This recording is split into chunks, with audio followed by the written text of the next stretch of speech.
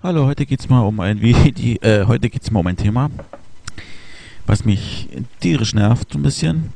Und zwar geht es um diese Ratgeber für Frauen. Meistens sind das ja Ratgeber für Frauen, die, äh, wenn ich sowas dann schon lese vom Titel her und letztes war im Radio wo jemand, eine Frau, die hat von persönlicher Entwicklung gesprochen. Ich finde, persönlich entwickelt man sich sowas überhaupt nicht. Und zwar so eine Bücher wie Haltet mal, ich habe hier gerade so eine Broschüre oder so ein äh, Magazin. Solche Bücher wie Flirten. Wie wirke ich? Was kann ich sagen? Wie spiele ich mit meinen Stärken? Oder auch So verlieben Sie sich richtig, wie man seinen Traumpartner sucht und findet. Oder auch sowas wie The Law of Attraction, Liebe, das Geheimnis der Anziehung in Liebe und Partnerschaft. Ey, wenn ich sowas höre, könnt, da geht mir echt die Hutschnur hoch wegen so einem Scheiß, ey. Weil das Problem ist ja, also die sind ja meistens ans Frauen gerichtet und Frauen kaufen sich diese Bücher, weil sie denken, da wird ihnen geholfen. Nicht wahr? Das Problem dabei ist erst einmal, dass diese Bücher die Leute, die sie kaufen, nicht kennen. Diese Leute sind aber Individuen und diese Bücher können auf die individuellen Probleme dieser Leute nicht eingehen. Das sind alles allgemeine Hilfestellungen. Allgemein gut. So Regelwerk, Regelsprüche, die man anwenden kann. Zumindest kann man es versuchen. Äh, wo man einen gewissen Effekt erzielt. Aber dieser Effekt ist doch nur kurzweilig. Äh, erst einmal geht es in diesen Büchern um Dinge, die eigentlich aus dem Inneren herauskommen sollten. So Fähigkeiten, Interessen, Kreativität, äh, Ideen, die ein, ein, ein Buch von einem, die können einem nicht so nahe gebracht werden, weil man ja ein, eine eigenständige Persönlichkeit hat. Und eigentlich sollten bestimmte Dinge, wenn ich sie will, aus mir selber herauskommen und ich sie auch selber hinbekommen. Weil wenn man dann die Dinge einfach so nachspielt, also nachmacht, wie sie in diesen Büchern stehen, darf man nicht vergessen, dass es den persönlichen, die persönliche Grundierung dafür dann nicht gibt. Es kommt nicht aus der Persönlichkeit und somit macht man das halt eigentlich nur, was in diesen Büchern steht und das kann auch sein, dass es ziemlich roboterhaft wirkt und unerwürdig dann rüberkommt und man sich wundert, warum funktioniert das nicht? Also, das ist, das ist so abgetrennt. Das, was in Büchern steht, von der eigenen Persönlichkeit, das ist doch stark getrennt voneinander.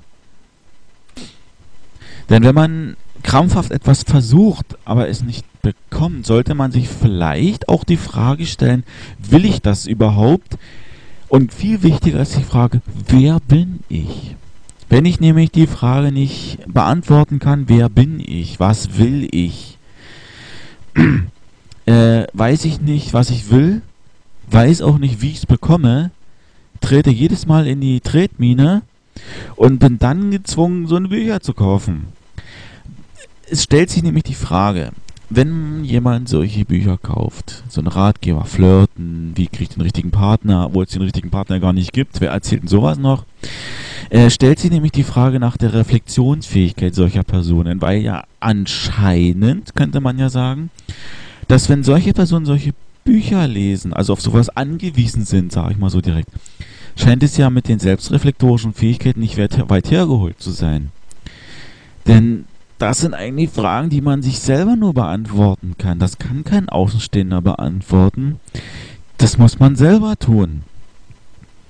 Und meine Psychologielehrerin, um noch eine Autorität hinzuzufügen, hat gesagt, diese Traumdeuterbücher, die kann man eigentlich vergessen, weil das sind auch allgemeine Traumdeutungen, Symbole, die auf das Individuum, weil ja Träume spiegeln ja das individuelle Leben wieder, das ist nicht anwendbar auf die einzelne Person. Das ist eigentlich nur dazu da, Geld zu verdienen. Und geholfen wird einem nur kurzweilig, wie auch immer, weil zumindest die wahren Probleme, die echten tiefer sitzenden Probleme, werden nicht bearbeitet. Da werden nur Symptome äh, ein bisschen schön gemalt oder wie wohl man das immer sagen möchte, weil ja halt, wenn ich ein Problem habe, habe ich das Problem und muss mir selber die Frage stellen, wie kann ich das lösen?